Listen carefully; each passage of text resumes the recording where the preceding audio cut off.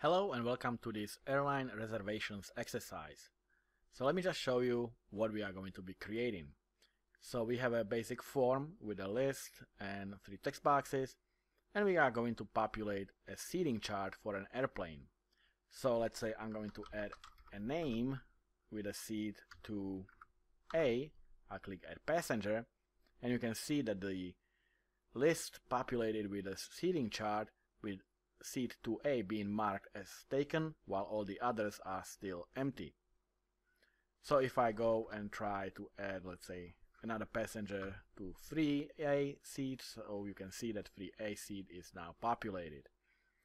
If I do 10D, 10D is now populated. And note that I have now two passengers with name Pavol 2. So if I go to show passengers, I have three passengers, two of them with Pavol 2, and note that we will be also ordering the list based on the seed row and column, not alphabetically.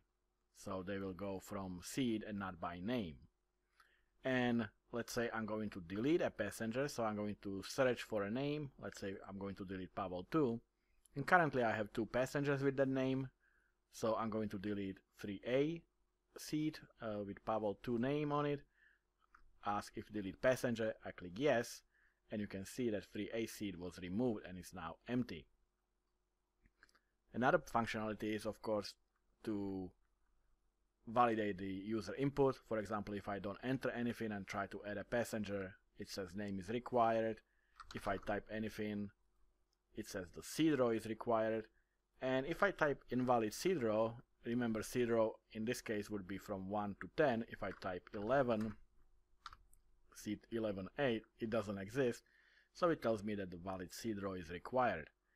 If I do 10A, then it adds the passenger there.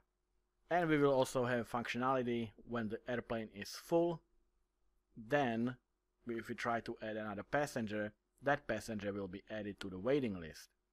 And when a passenger is deleted from the seating and the airplane is full and there are some passengers on the waiting list, then the passenger from the waiting list will be moved to the seating chart, replacing the passenger that was just deleted. So let me just show you that. So here I added 40 passengers. If I click show passengers, you can see that I have 40 of them and you can see again that they are ordered by the seat. So when I now try to delete a passenger, so let's say I'm going to delete passenger with the seat 10C, and you can see I didn't really type any names, just a bunch of letters. But I'm gonna delete this seat 10C and click yes, the passenger was removed. And currently there was no passenger on the waiting list, so the seat is simply available.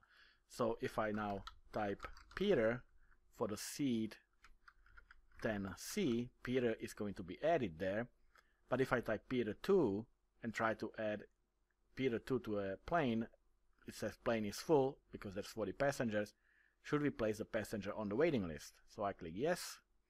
And if I click show passengers, you can see Peter 2 is now added to the list with no seat because Peter 2 is on a waiting list. So let me just delete a passenger and I have a bunch of passengers with this name so I'm going to delete passenger with seat 10A and if I do that I get a message that passenger was deleted from that list but Peter 2 was moved from waiting list to seat 10A so if I go to show passengers you can see Peter Peter 2 was added to seat 10A 10A is still taken but this time it's taken by Peter 2 if I try to delete Peter 2, I only have one passenger with that name, I'll delete it.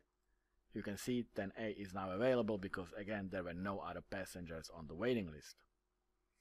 Alright, so this is the project that we are going to be working on. I hope you're gonna have a lot of fun, I hope you learn a lot of things, so let's get started.